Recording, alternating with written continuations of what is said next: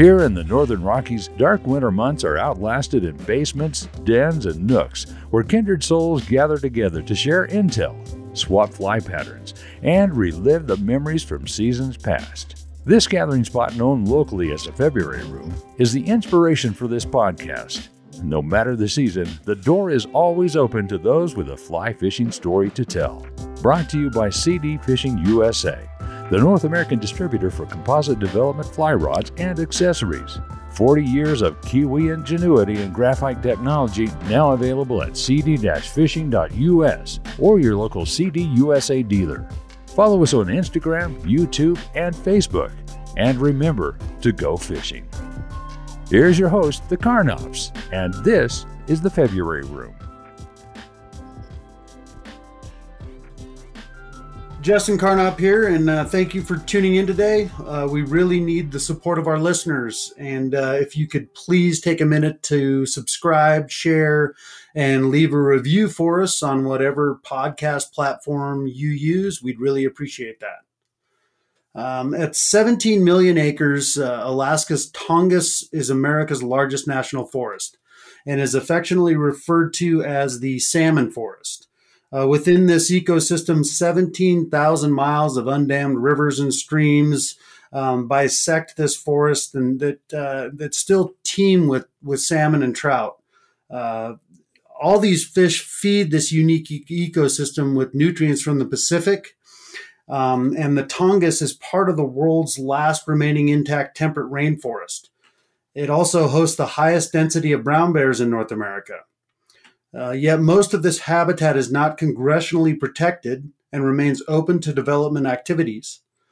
Our guest today is on the front lines in the battle to protect and conserve the Tongass. Mark Hieronymus, welcome to the February Room, and I hope I said your last last name right. You did. You're one of the few, and thanks for having me. You bet. Well, I, I think it's still in my mind from um, from years ago when uh, when you helped us out on a Trout Unlimited show that we did up there. Unfortunately, I didn't get to attend on that one. That was one of my my uh, big regrets in life because it looked like an amazing experience. Yeah, that was a fun one. That was definitely uh, that was actually before I was when I was still volunteering with Trout Unlimited when I was just uh, guiding and uh, that was definitely uh, that was a fun excursion. We we had you know the the backstory, and you, you may remember some of this, or you may have tried to black it out because we had uh, 17 inches of rain in the three days prior uh, to you guys arriving, and so oh, that's it right. It was a mad scramble to to to find water that did not look like a chocolate shake that actually had fish in it, and it was oh man. But you know, the, through the wonder of television, we pulled it off, right? Right, right. And yeah, you can rest assured that if you're planning a television shoot, there's going to be 17 inches of rain the day before you get there. Yeah. That's usually the case. Well, with a with a last name like Hieronymus, um, I know you have uh, some great fishing stories to share with us. Yeah, you know, I got a I got a pile of memories and not much uh, uh, for you know picking out something that I've done. I, I actually, you know what? I got a great one, man. This so a lot of my a lot of my stories come from you know a lot of my experiences come uh, during my guide season. Uh, in the summertime, I guide for Bear Creek Outfitters. Um, we're one of the largest guided fishing operations in Alaska um, in non-pandemic years. Let me add, um, right? And and years ago, yeah, so a lot of my, you know, I don't spend a whole lot of time fishing myself, but I, I observe fishing uh, and, and, help and, and help fishing. I'm a I'm a, a, facilitator there. You're an observer. You're an observer of fly fishing. That's that's right. That's what yeah, every so, every uh, guide's card should say. Sorry to interrupt. Exactly you. right. Professional observer. So yeah. um, so I've had conservatively, I've taken 6,000 plus people fishing in my guiding career. And, uh, you know, I'm a high volume guide. And a lot of, as a consequence, I, there's, there's some folks that, you know, kind of rise above that their memory, you know, be it for good or bad reasons, their memory, you know, their, their, their experience sticks with me. And so I can relate it. And one that I remember very vividly uh, which is given my advanced age is pretty good. Uh, 2015, I had this kid. Um, I want to say his name was Alex. I won't say his, I can't remember his last name, but I'm pretty sure it started with a C. But Alex was from Montana, right? Part of the backstory here is a lot of a lot of our bookings used to uh, you know, come through the cruise industry, we, we offered our services to, to passengers just stopping in town for a day. Hey, do you want to, if, if you wanted to come to Alaska, but your wife made you come on a cruise or, you know, if your husband doesn't fly fish or whatever, come out and fish with us. Right. And so, um, when, when people book cruises, that's given an option. That's an option to go fly fishing. Right. And so what I didn't know about this kid at the time was that his dad gave him this trip as a Christmas present six months prior to his trip. And the kid apparently just lost his mind. Like he was an avid fisherman. This is a nine year old we're talking about, right? He's a, he's a fairly avid fly fisherman in Mon- Montana, but he started researching Alaska and tying flies and doing all this stuff. And so when he showed up at the shop, it was just this tiny ball of of anticipation, excitement, uh, questions, you know curiosity and and I I don't have children. I'm I'm I you know my the common thing I people say when you well do you like kids and I say well yeah but I can't eat a whole one. I'm not really a parental. I'm not necessarily a parental type. and and uh, but I'm much more than tolerant because I'm really enthusiastic about these kids fishing, right? But this kid was just bouncing off the walls, man. He was so excited. And I was thinking, man, this is just going to be a work day for me, man. I'm going to have to keep this kid contained. The place that I had already selected to go and where I was kind of constrained to because we had other groups out was, you know, one of the barrier areas that we go to. And I was thinking, man, how am I going to, you know, I, I, might lose this kid in the grass. He's like three foot nine, right? So I was trying to, th- you know, how am I going to make this kid, how am I going to get this kid the best experience possible? Turns out I didn't have any. I didn't have to do anything. I mean, the kid was just he was awesome from start to finish, and so much that I really I focused quite a bit with him that day, and and you know he showed me all the flies that he tied, and and and some of them, you know, they might have worked under different conditions. We've got really specific, you know, very specific patterns that we use in our fisheries here, very specific. Um, patterns and techniques, I'd say, to, to really ensure success in a short window, right? right. And so we tried fishing some of his flies, and, I, and, and I told him, I said, you know, Alex, man, I really, really, really want to see you hooked up to a fish. And by the way, this is one of those things where it was, you know, a three foot nine kid. You just don't give him an adult fly rod. So thanks to, you know, huge shout out to, to Tim and uh, Tim Rajeff and company down at Echo for providing the gecko. I mean, they were the first to make a kids rod, and the industry's kind of kept along with that too. But man, that's been a, a lifesaver for tiny little kid hands. The little seven and a half foot rod that they can cast, um, almost impossible to break. I've tried to break them. I've had kids just reef on it and they can't break it. But at any rate, I digress.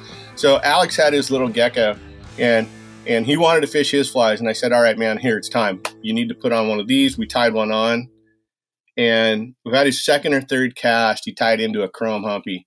And the world, for him, the world disappeared. If it was outside of the rod, the line, and the fish, it was literally Charlie Brown's teacher, you know, the womp womp, womp, womp. and and I took a picture in that moment, and then I asked his dad if I could share it on on on social media, and he said, "Yeah."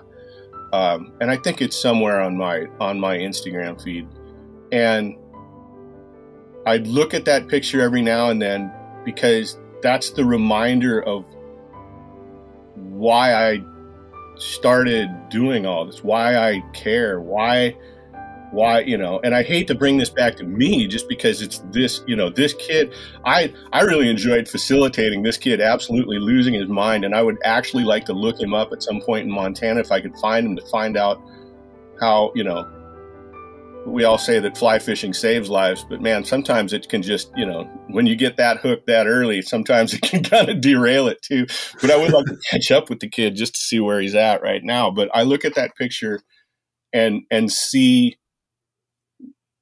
100% unadulterated stoke with no, not a care in the world other than that connection to that fish. And that's, you know, to me, that, that moment, it's, it's powerful and priceless, man. I can't believe that I got paid for that day. You know what I mean? Right, man, that's so awesome. And you know that kid was he, when he came home. Could you imagine being nine years old and having that under your belt? Yeah, I went to Alaska and and whacked some salmon on a fly rod. Yeah, you know, and I took a picture of him holding the fish, and and I try to, you know, I really, you know, with with as many folks as I've taken out and the wide range of, of both abilities and awareness about the sport, I try to I try to instill some some fish handling, you know, some fish respect and fish handling values, and and so he was holding this pink salmon, which is, you know, for once again, a three foot nine kid with tiny hands, man. This is like some one of us holding a, you know, a 40 pound king, right? the perfect hand model. Yeah, exactly. Right. I was like, I'm going to take you on all my trips. You make right. it look like you make these fish look gigantic. But, uh, at one point he he I had him I had him dip the fish down the water and I said, okay, get ready, hold your breath. When you pull the fish out, hold your breath. And then when you can't breathe, the fish can't breathe either. So put him back. And so he picked the fish up and the fish did one of those, you know, those uh, head swing flops. You, you know, cohos sure. do a lot, humpies do it a lot too. And it did a head swing flop like right into his face. And so he did what pretty much anybody would do and just kind of grabbed it in a big hug and I also have that picture, and and I don't think that one will ever see the light of day. Um, not in least part because I don't need anybody on the net telling me, you know, how to sure fish.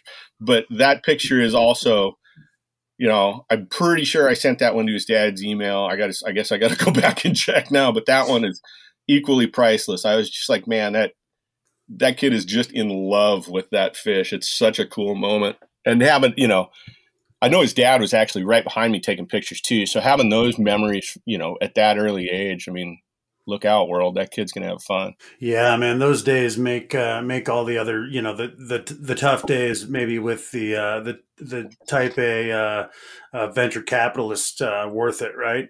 Yeah, definitely. They definitely do. You know, I mean, those guys, that kind of client too. You want to work them. You know, you want to work hard and you want to you want to there's always that feeling of contempt that you're being you know that you're being relegated to the service industry and and i try to find ways to you know it doesn't really affect me. It doesn't it doesn't it's not something that that you know i lie awake at night thinking about but i always find an effective way to to push back and make sure that they understand that that they hired me for a reason that there's information that they're lacking and and I'm their gateway to all that they seem to want. And so, you know, be nice to me. Be nice to your guides. If you're listening, everybody, damn straight. Be nice to your guide.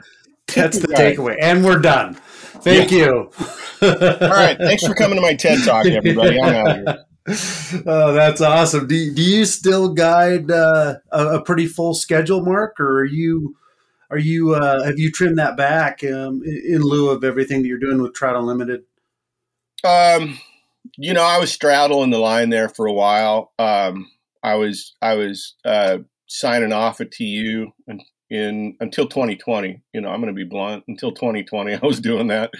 Um, signing off with TU. Um, I used to I used to guide from May until late September, and then I trimmed that back to June 15th to uh, September 1st. And 2020 came around, and I I made the decision to not to not guide. And and my outfitter made the decision to not offer trips. He didn't think it was you know we do all fly out trips and you're in a tiny little airplane you know in a in a you know how many how many square feet of of space do you have in a in a 206 or in a beaver right? It's about 18 maybe 19 you know? And i we all at the time when we were all pre-vaccinated, we decided, you know, let's let's just not do this. Let's let's wait and see. We had no idea what was going on.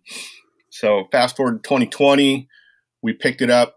Booking guests were strongly recommended to be vaccinated. We are going to have uh, masks and planes and things like that. And I ended up doing, I don't know, I think I took 20, 20 trips this year. So I probably took between I haven't even looked, but like 60 to 80 guests. A normal a normal year for me, 2011 to 2019 was anywhere from 400 to 475 taking, you know, clients taken out. So, wow. So yeah, I've you know in part in part because of, of the pandemic, I've slowed down my work. But then also in in 2019, I pivoted. I used to do uh, outreach for Trout Unlimited. I used to be the sport fish outreach coordinator, and as such, I would talk to. Um, folks. I'd go to sports shows uh, across the West Coast. I do in in Alaska outreach, mostly with with uh, sport fishing businesses, you know, uh, lodges, fellow guides, things like that.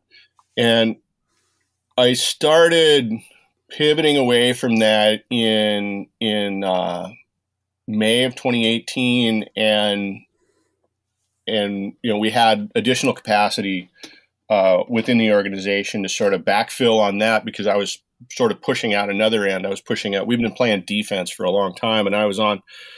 I was doing some biological work that would take us on, you know, not necessarily offense, but we do good, you know, good by the fish instead of defending and holding the line on conservation. We were we were advancing something, right? And well, as of I guess July of this year, I finally made the full pivot uh, away from public advocacy, public outreach, and into uh, biological work. And so my new my new title is uh, community science coordinator, and my new work is uh, identifying and mapping.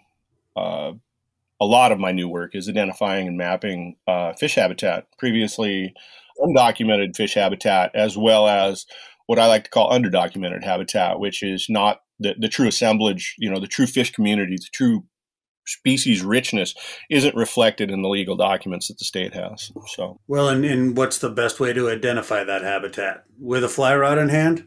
Well, the fly rod in hand, you know, hook, hook and line is definitely a tool, and that's a recognized tool by Fish and Game. And sometimes that's you know one of the most expedient ways to do it. But um, you know, con- uh, there is kind of an illusion that, that, that, that, well, Mark gets paid to run around and fish, and that's not really right. the case there. Um, a lot of it, you know, I've got a dry suit uh, and I float down some freezing cold rivers. You know, our steelhead streams are are are some of them are barely over 33 degrees in the springtime, and it's really, really, really rare to go steelhead fishing in anything more than about 40 degrees of water because after that they're really spawning there you know you don't want to be out there fishing for them but so a lot of my work uh, in the springtime is is looking you know trying to figure out where uh, you know through through modeling and through through traditional ecological knowledge, local knowledge, uh, anecdotal observation, where steelhead live that they haven't been um, that they haven't been officially documented in uh, in the state of Alaska's anadromous waters catalog. And so far, since 2018, we've added 10 steelhead rivers to the Tongass.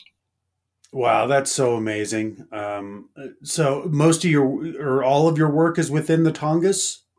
Um, at the moment, I'm, you know, we had a pilot program uh, this this summer. Um, we coordinated with the Kenai uh, Peninsula chapter of Trout Unlimited and and helped them prepare for their own uh, habitat investigations, habitat surveys, and and so we're kind of working out the bugs on that. My hope is that I can, you know, with the the the the fish habitat mapping is one part. The community science is the other part, and hopefully I can I can get um, you know I got about ten or twelve volunteers I can call on right now, and and the idea is to grow that out into this into um, a group of folks that's that you know conservation minded anglers that that would like to see and would like to participate in this in this uh, in this work, and so that's that's kind of where I'm at with that program right now. Well, man, put me on the list. I'm, I'm sure, you, I'm sure you don't have much trouble. I'm sure you don't have much trouble finding Join. volunteers volunteers for that. Could you uh, explain to me exactly where the Tongass is? Sure. Um, the easiest way to do that is to. This is for everybody listening at home. This is the uh, interactive portion of today's of today's uh, podcast. Excellent. Stick your right hand out out in front of you, arm's length away. Stick your thumb out. Now stick your index finger out as well. So you're making a modified Spock, right? Then yep. you're going to turn your hand sideways, facing to the left, so your thumb is down. Okay? Okay. That's a map of Alaska. Your thumb is where the Tongass National Forest is.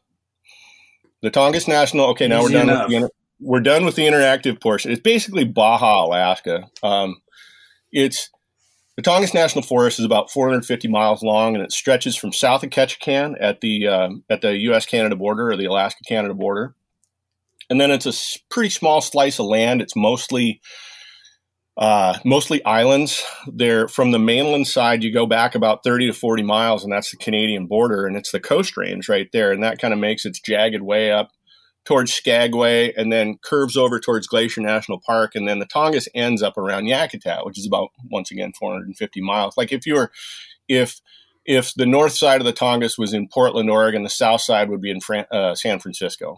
So that's about how big it is. It's about 125 miles when you uh, wide when you take in all the islands.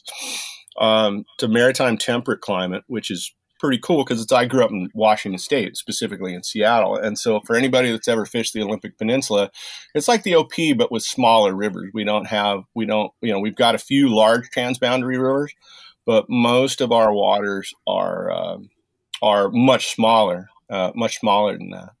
So yeah, Southeast Alaska, man, it's just a, it's this verdant emerald green area. I mean, that's probably the one comment that I hear most from from visitors, from you know visiting anglers, people that come up. They say, "Man, you know, I thought I knew what green was, but you guys got you pretty much got green cornered. This is what green looks like up here." and that's all fed, um, you know, by the by the massive runs of of salmon and steelhead. Uh, correct? I mean, that's the reason. Part of the reason why the forest is the way that it is, right? From all the nutrients that the fish bring in uh, from the Pacific. It is. It definitely is. You know, um, we get we've been we've been you know they're obviously salmon are very cyclical in their populations, and we've been we've been on some long depressions, especially for king salmon. Um, we had we had a, a a humpy a pink salmon just absolute explosion no literally no hatchery influence down here that matter of fact in 2013 on our our large run year we had um, there were roughly 120 million salmon that came back the harvest was around 99 maybe 101 million in southeast hmm. alaska and of that there were maybe a million and a half that were hatchery production so Imagine imagine 100 million, and that's just pink salmon. Imagine 100 million salmon coming back to coastal Oregon and northern California. And yeah, you can kind of get an idea what the Tongass is like, except a lot of our, you know, a lot of our streams are fairly small. Many of our streams, the anadromous portion, due to the topography, you know, we're really, it's, it's fairly steep up here. We're crunched up into the, we're basically the footlands of the coastal range. And so everything comes out of the water fairly abruptly. Um, and so there's not a whole lot of flat valleys, you know, large flat valleys for uh, for large salmon streams, right? But we've got a ton, you know, 18 or 8,000 uh, anadromous streams currently that we know about, and we we've only documented about 50% of those. But at any rate, the anadromous streams are Jeez. the, the average the average length of, a, of an anadromous reach in southeast Alaska, and this is just an average. The average length is one and a half kilometers, so they're very, very, very small streams. Wow. And so they're they're we, we're we're not operating on the typical watershed um, look. You know, if, if people think of a watershed, they normally think of a single point flowing out into the ocean, and then everything that's behind that, all the tributaries, they're contributing to that main flow, right? Well, our watershed looks a little different. If you imagine, imagine the salt water that's in between the islands and these channels as the main flow, and then all these other little rivers that are actually standalone watersheds in and of themselves flowing into that as tributaries. That'll give you a better idea. How to, I mean, that's that's how I look at it, and that's it. It's it it seemed it helps quite a bit when I'm thinking about fish habitat. But back to the original thing, yeah, man. I mean, it's like the, nature's fertilizer.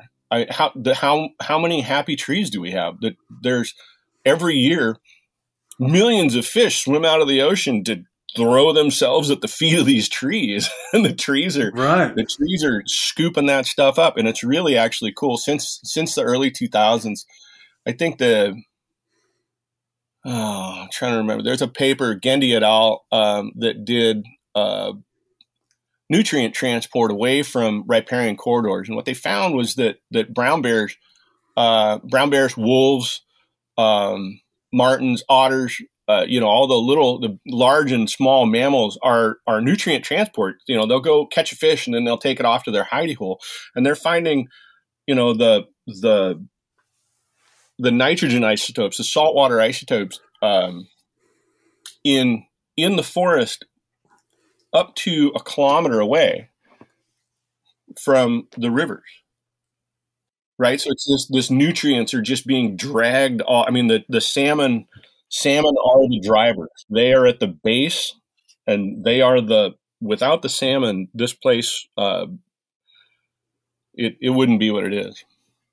Well, and that's what's so scary to think about, you know, in your in your birth state and my birth state as well. I'm from Oregon, and and um, you know, with the, the the situation there right now with with steelhead and um, and salmon as well. Um, you know, the the I hate to get all doom and gloom, but um, the potential impacts to the entire Pacific Northwest e- ecosystem if we if we lose these fish could just be devastating.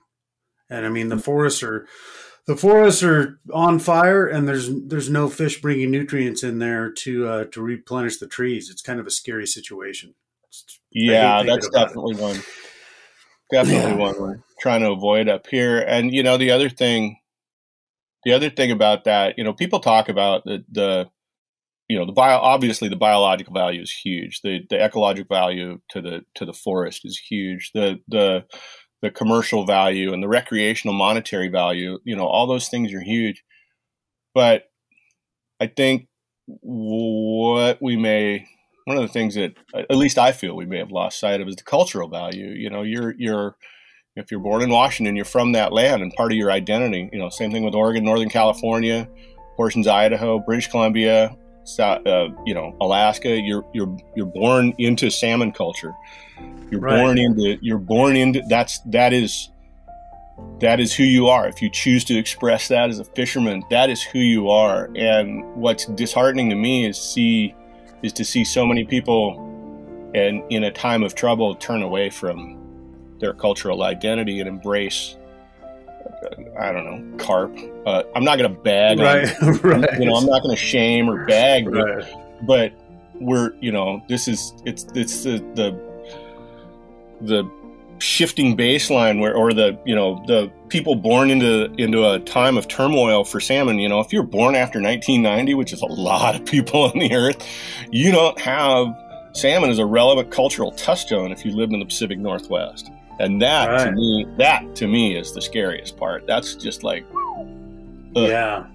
Good point. Good point um, how are the steelhead faring up there in your neck of the woods? Um, you know, in contrast to Washington, Oregon, California.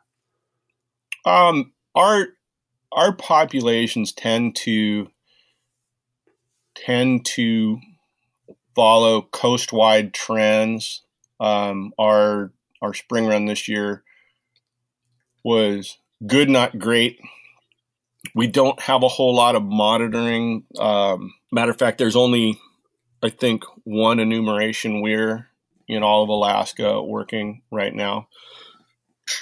But we have a few things going for us. Um, speaking specifically to, to, the Tongass, you know, most um, there's right now we have 335, 335 documented steelhead streams in southeast Alaska.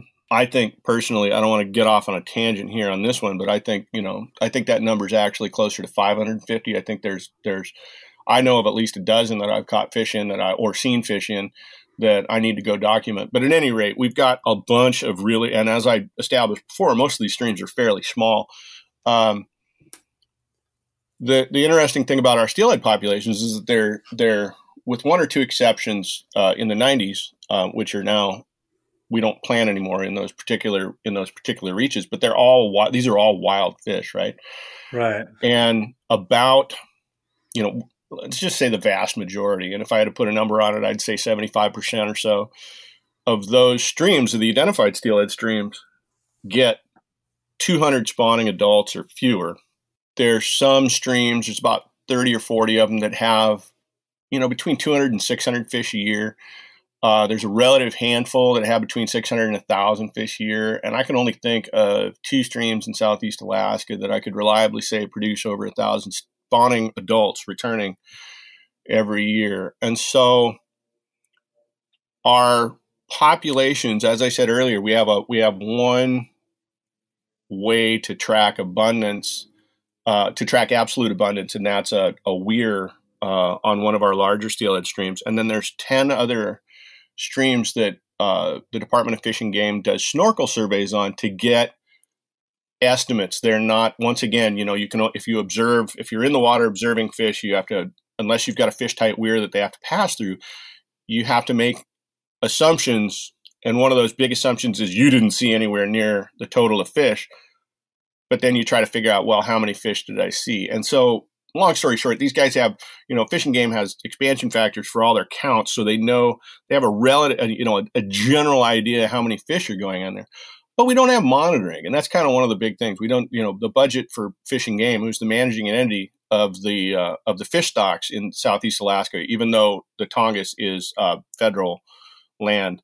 Um, the you know Fish and Game's budget has been has been chipped away and chipped away and chipped away for years and and and there's just not there's just not enough cash and at the moment political will to you know to enumerate these fish. But circling back all the way to how are our fish doing? Well they trend you know we the big the, we don't have we we have very few systems that are that are accessible enough that that sport fishing or handling a fish or tromping on redds would be an actual factor. Almost all the steelhead come in before uh, commercial fisheries. Some of them are intercepted in commercial fisheries, um, and so right now it just seems to be driven by ocean conditions. What and and you know after the blob, after 2014, and the the the wobble that we've gotten since then, you know, I would say I would say our our our fish are holding up better than most at at the moment. But I haven't seen this year's run data. I haven't seen, you know, any I haven't talked to many folks at Fish and Game about predictions, so put a healthy asterisk on that one. Gotcha, gotcha. And the the blob that you're referring to was a mass of warm water within the oceanic migration corridor for steelhead, correct? Yeah, it was the Gulf of Alaska. The Gulf of Alaska sea surface down to depth temperature was was way higher than it should be. In in sci- in scientific terms, it was hot as hell. And and so yeah, you know, fish don't. The, the funny thing about that is fish don't swim into these things and, and keel over and die. What it does is it speeds up metabolisms, and and when you speed up juvenile fish metabolism, you know, feeding fish metabolism, especially salmonids, they require that much more energy for a specific unit of work, namely swimming around in the North Pacific being salmon, right? Right. And so when you start requiring more energy, that means they have to either find more energetic prey than they're already feeding on, or if they have the ability, switch to a more energetic prey. But if there's a whole bunch of fish at that time and you're you're you know you're trying to feed all or the, the fish are all consuming this resource at a greater rate you run into problems right? And that's also the warm you know the, the warm water also upsets the the fundamental you know the primary product you know primary productivity of an area as well. And so it's just it's that is just merely one of the factors going against our our beloved fish and then probably increased competition too, right? Because then you have other species coming into that warm water that may not necessarily be there, like you know, catching Dorado, for instance, off the Oregon coast, or yeah, you know, I'm sure that plays into it inter in inter species competition, but there's you know probably quite a bit of intra or intra salmonid competition. You know, there's there's the theory floating around now, and well, now it's been around for quite a while, but the populations of pink salmon um, can upset uh, fisheries. And, you know, there's one side, one far side that says that, that pinks are the driver of the ocean uh, ecosystem. And then there's the other far side that says that since salmon comprise you know three to five percent of all the large organisms, you know, the nekton as opposed to plankton, the large organisms swimming around the ocean, that they po- couldn't possibly have an effect. And I think the truth is somewhere in the middle. I think, you know, I definitely think that pink salmon, wherever they come from, natural and wild, I think that, uh, or I should say hatchery versus wild, I think they, they, they do have an effect. Probably doesn't help that, that we have, you know, more nations than just the United States, but we've, we've shifted to this model of aquaculture where we're putting out, we're pasturing a whole bunch of fish that, you know, maybe maybe the ocean is is showing some signs of stress from that, and we're we're seeing that signal as reduced or compromised runs. So, gotcha. I think, I think there's still a ton of research to be done on that. There's some there's some correlation in in some. There's also some causation that looks like correlation. Um, I, I think it's one of those questions that we we should you know we should start focusing on a little bit more.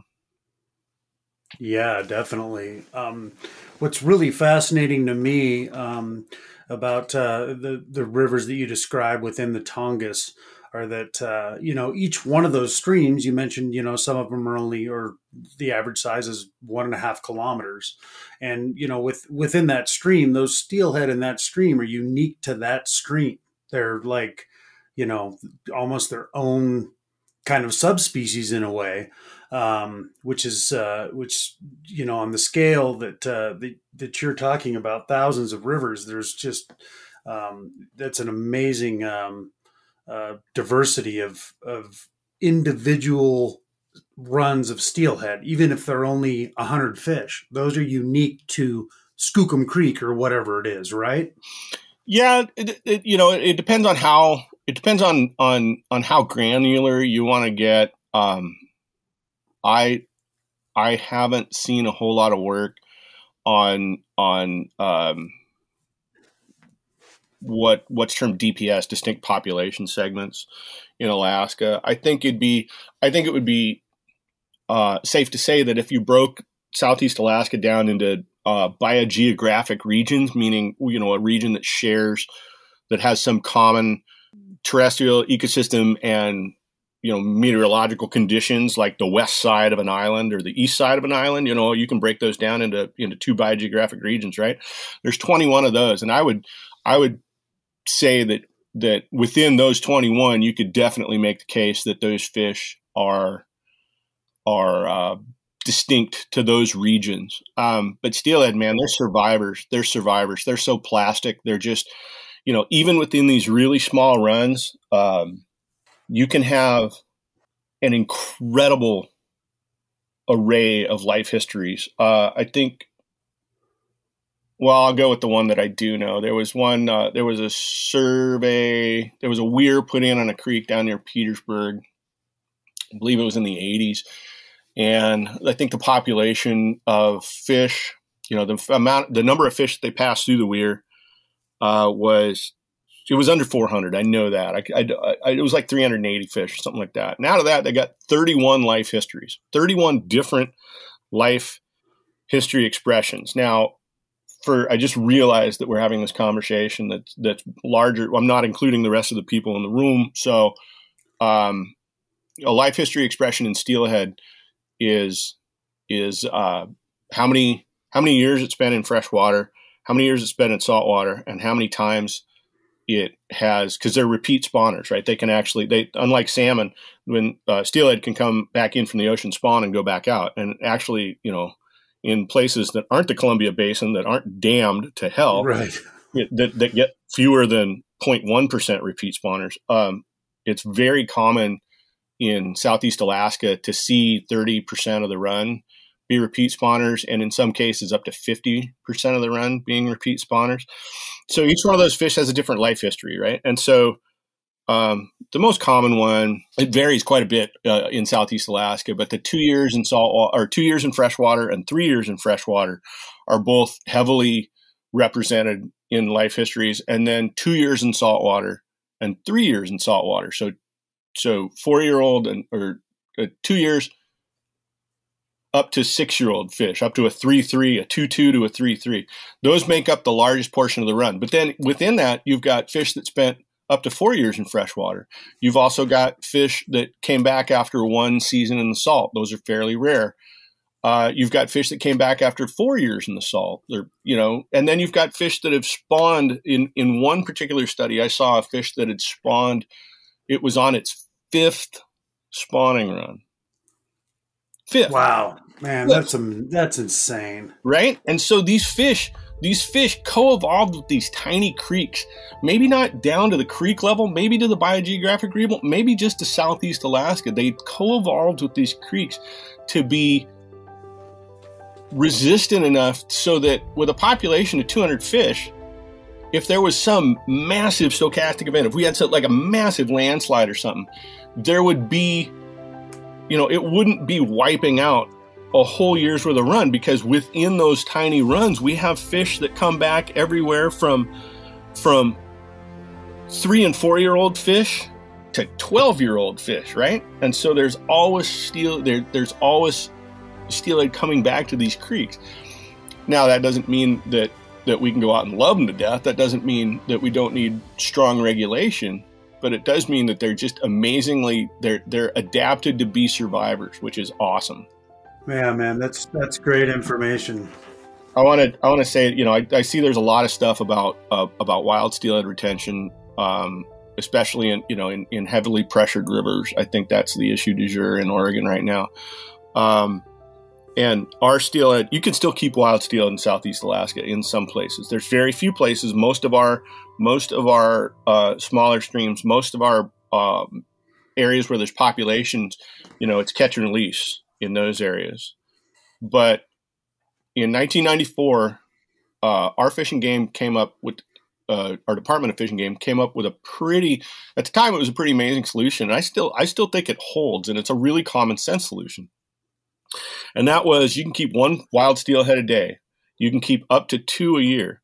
Those fish have to be over 36 inches. The reason those fish have to be over 36 inches is because that measurement protects about 95% of first time spawners. So that basically says, all right, you can the fish can come in, they can spawn, they can go away. All right, they go back out. They can return to spawn again. If it's larger than that, hey, if you really want to keep a steelhead, you can keep a steelhead. Now, I'm not espousing that for anywhere else in the nation, but I'm just I get people to think out of the box. It's not an all or nothing. There are still people that that as part of their cultural identity harvest steelhead. Some choose to use rod and reel, and we have to be, you know, we have to understand that that that in some cases, in some cases where it's warranted, harvest is all right. Now I know that that's going to get me a lot of hate mail because most of these places in Oregon and Washington State. Well, you can still probably, keep them on the southern Oregon coast. There's yeah. no fish down there. yeah, and that's kind of ridiculous. After, after yeah, looking I, at I all agree, that, man. after looking at all that, that's just that's amazing. But our steelhead harvest went from you know thousands per year um, down to uh, for both subsistence and uh, and fishing uh, sport harvest. I right in like two to three hundred fish a year, and so as long as we can keep that, then I think we're good. Um, if we do start to see more more, uh, you know, more disturbance in the forest, as it were, we're gonna, probably going to need to address that with tighter regulation and basically just chop off uh, retention of wild steelhead. Gotcha. So, so I had read that you know most of the Tongass is not congressionally protected. Um, what uh, what sort of threats are facing the national forest, and um, you know what uh, what type of measures would you folks like to see put in place uh, in order to thwart those? Well, you know, the logging has always been the principal the principal issue in the Tongass, and, and that's you know we've got this history of of resource extraction with um, without up until recently without regard for you know some of the damage that resource extraction was doing. And uh, from as a relic from the from the mill era when when timber the timber industry was subsidized by federal dollars i mean it's been over the years it's been subsidized to the tune of about half a billion you know 500 million dollars about 22 million dollars a year. Um, that's dropped off in the in the very recent time, but it's still ten. You know, it's still there's still millions of dollars being spent in timber planting. Um, it you know, it, and I'm not talking about selective cut. I'm not talking about. I think selective cut's great if you're going to be a forester. Um, you know, I I'm not a hypocrite. I own I own instruments that have tone wood that were cut very close to my house. Uh, I live in a wood home. Um, but the, the, the, thing that I'm talking about is industrial clear cut logging, where where massive swaths of forest are taken down, and that can really upset hydrology. You know, river hydrology. We're a, we're a we're an area of rivers. You know, we're four percent of the land mass of Alaska in the Tongass. Uh, we produce more than 25% of the fish. And so we're basically a land area that's support a support system for salmon streams. And when you start altering the landscape on a landscape scale, like industrial logging is capable of, you upset balances, you upset hydrological balances, you upset ecological balances, and and that's definitely a threat. Luckily, those years um, the large, large, large, you know, the the 450 million board feet a year era. That's that's behind us. Um, it's it, it you know, lot the logging industry has been um, has been on the wane in large part because of um, it's just it's onerous. They you can't up here you can't really uh, and I don't want to speak for them, but here's what I see is that you have to be subsidized. Somebody has to build the road for you. Somebody has to do all the footwork for you. So you can go in and cut down trees to sell because it costs so much to get people out there to cut them. It costs so much to transport the trees to a mill. You know, there's all these things that go into this that, and so the logging industry has been on the wane, um, except there's, you know, a bunch of little small mills and, and independent foresters. But that's you know the the the other threat that comes along with with new you know people want transportation corridors and things like that road building is by the forest service you know by the land manager's zone of mission roading and poor upkeep of roading and improper fish passage design are the number one threat to fish in the Tongass. And right now we've got, you know, we've got a relative handful of of rivers that are really in need of, of restoration. Probably, I'd say 50 total that are in need of some uh, variety of restoration so that they can go back to being fully functioning fish watersheds, right? And then the other thing that we have to attack is we've got all these legacy roads, and then we've got also some useful roads that came out of the logging industry.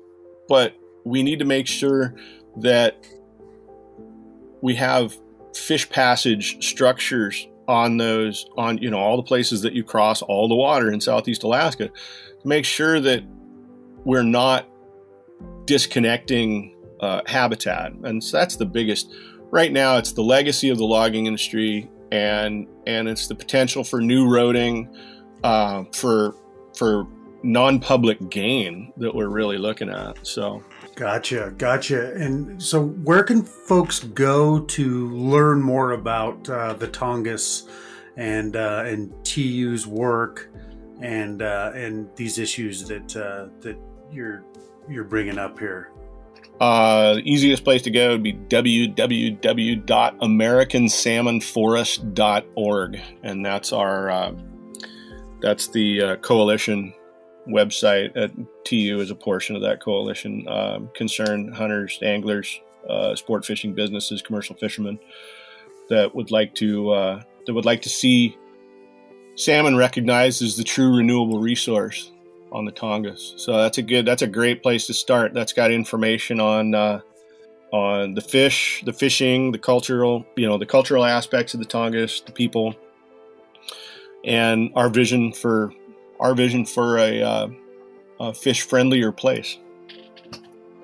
Well, excellent. Well, Mark, thank you so much for your time today. I really appreciate it. This was highly informative.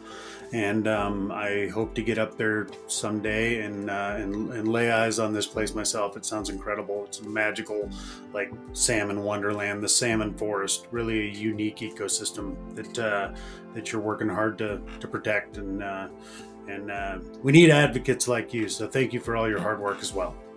Oh, thanks much, man. I wouldn't wouldn't do it without the help of, of you and others, and without the backing of everybody that we've got. And you should come up because the one thing that you probably haven't seen is a pink salmon eat a dead drifted dry fly, like a true upstream pre- presentation. no, I have not seen that. You, you, I would like to see that for you, sure. along with the rest of the world, needs to see the glory that is the pink salmon. awesome. Well, hey man, thanks again, and uh, and be well. All right, thanks a bunch for having me. Go to thefebruaryroom.com where you can access a complete library of our podcast and read more about our guests, their fishing stories, and favorite fly patterns. We're always looking for exceptional fly fishing yarns, and if you have one to spin, shoot us an email at info at thefebruaryroom.com. The February Room is always free, but if you feel like throwing a nickel in the pond, we appreciate any additional listener support. For companies and individuals interested in sponsorship opportunities, please contact us for our media kit. Thanks for stopping by the February Room, and we'll see you down here next week.